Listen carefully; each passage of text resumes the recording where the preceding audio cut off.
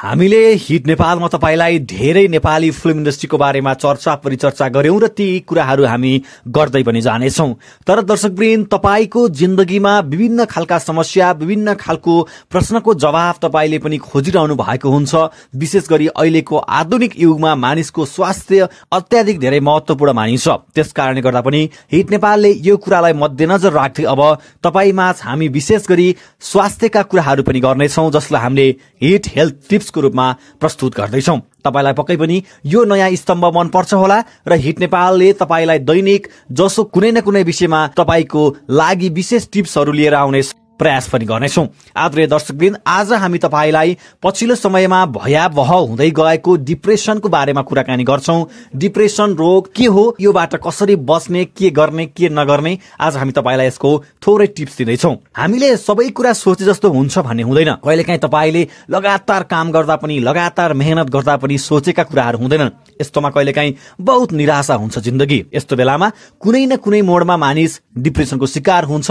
बलिउडकी नायिका दीपिका पादुकोणको कथा पनि सुन्नुभयो होला। उनी पनि डिप्रेसनको शिकार भएकी थिइन्। कसैमा त डिप्रेसन यति धेरै हावी भइदिन्छ कि मानिसलाई आफ्नो अस्तित्व शून्य लाग्छ र उनीहरू आफैलाई कमजोर स्वीकार्दै दयाको पात्र आफूलाई मान्न थाल्छन्। एक अध्ययन अनुसार संसारका दुई तिहाई मानिसहरू कुनै न कुनै रूपले डिप्रेसनको शिकार छन्। कारण जे पनि हुन सक्छ यही कारणले मानिस डिप्रेसनको शिकार हुन्छ भन्ने छैन। आजको यो एकदमै प्रतिस्पर्धात्मक युगमा मानिस आफू पछाडि परेको महसुस गर्छ र डिप्रेसनमा जान्छ। त्यस्तै गरी आत्मीय मानिसको साथ छुट्दा पनि उसलाई नैराश्यता फिल हुन्छ। आर्थिक समस्याले पनि त्यो समस्या ल्याउँछ। आधुनिक जीवनशैलीको पछाडि दौडदा दौडदै थाक्नु आदि विभिन्न कारणले गर्दा मानिस डिप्रेसनको शिकारमा पुग्छ।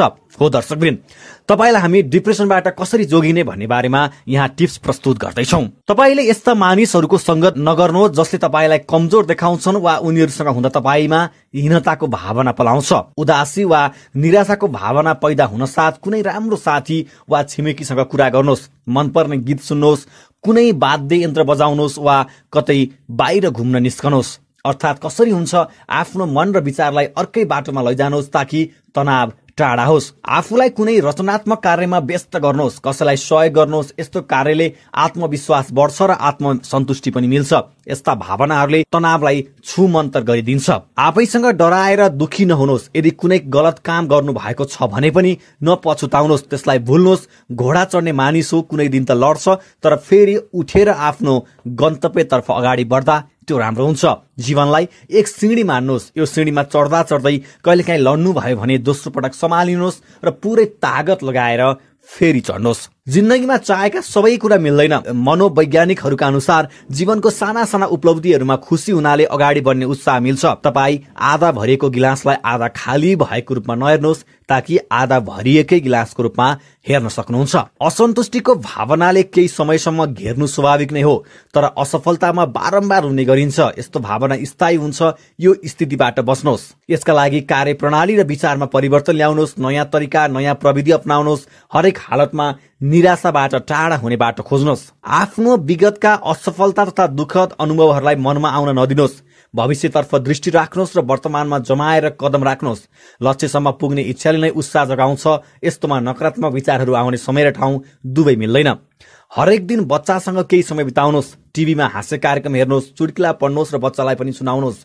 बच्चाहरू खुसी हुँदा तपाईँको खुसी दुई गुणा बढ्छ। नियमित एक्सर्साइज गर्नुहोस्। यस्तो खुसी दिनाले सेरेटिन हार्मोन उत्पन्न हुन्छ साथै शरीर पनि स्वस्थ रहन्छ यसले मनमा राम्रो भावनाहरू तथा सकारात्मक सोच उब्जिन्छ। एक्सर्साइजको सट्टा बिहान मर्निङ वाक गर्न पनि सक्नुहुन्छ।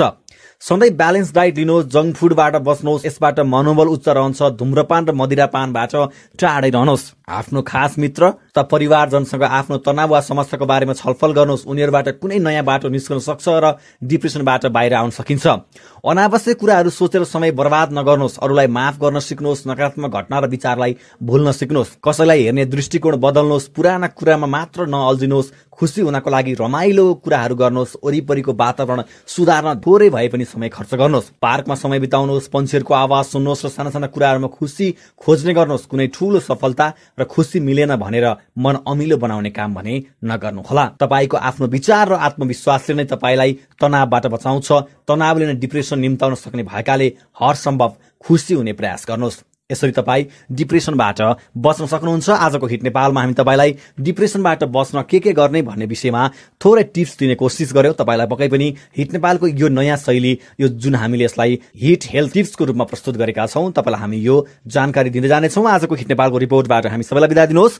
हिट नेपालको रिपोर्ट तपाईँलाई मन परिरहेको छ भने कृपया तपाईँले हिट नेपालको च्यानललाई सब्सक्राइब गर्न सक्नुहुन्छ। जे हिट त्यही फिट।